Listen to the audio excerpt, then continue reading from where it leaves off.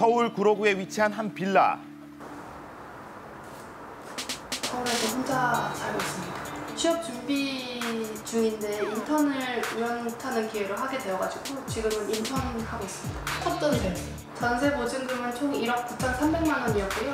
1, 1억은 은행에서 대출을 받았고 2천만 원 같은 경우에는 제가 어렸을 때부터 일해서 모았던 돈이고 나머지는 부모님께서 도와주셨습니다.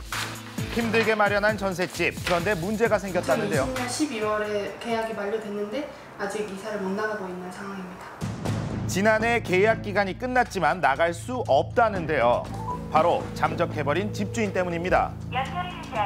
역시 전화를 안 받는 것 같아요.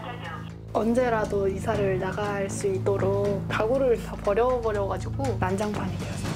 말도 안 되는 일이라고 하면서 많이 울었던 것 같아요. 저랑 똑같은 피해를 입으신 분들이 모여있는 단톡방이 있어요. 피해를 입은 세입자가 또 있다. 안녕하세요. 다른 세입자를 만나봤습니다. 전세자금 대출 받아서 마련한 집인데 지금 보증금 2억을 아직 못 돌려받고 있어요. 1억 4천이 대출이고 그 나머지가 제 돈입니다.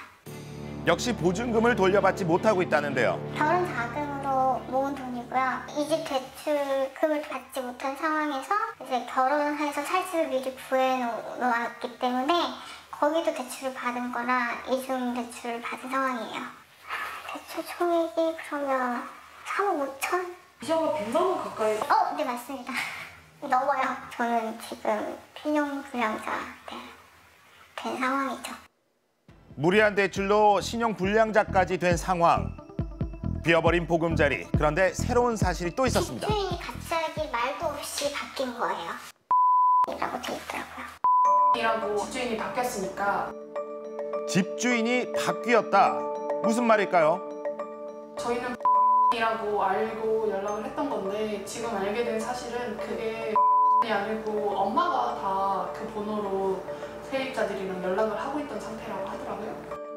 집주인인 딸 대신 엄마가 세입자를 관리했다는 것. 이 빌라의 다른 사람 같은 경우에는 작은 딸이 아닌 큰 딸과 계약을 진행했다고 하더라고요. 이 자매가 빌라의 주인이다. 두 딸과 빌라를 계약한 엄마, 세 모녀가 집주인인 건데요.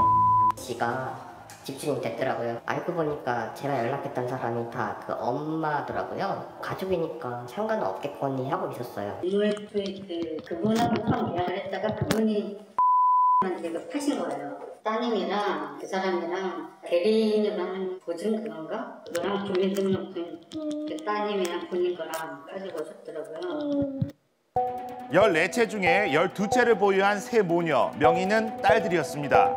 이 두 딸의 명의로 계약한 엄마, 게다가 피해자가 저희 집만 있는 게 아니라 다른 지역에 또 많아요. 이곳만이 아니다.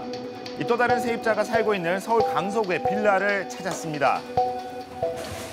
이 건물 자체가 명의랑 명의 둘이서 갖고 있는 명의가 80% 정도는 그 두 자매가 소유하고 있는 걸로 이 건물도 두 딸의 명의로 나뉘어져 있었습니다.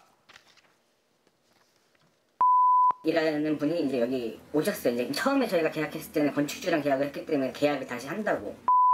명의로 이제 자기가 대리로 이제 가족관계 그 보여주면서 자기가 엄마라고 그때 도장을 갖고 와서 이제 계약을 새로 다시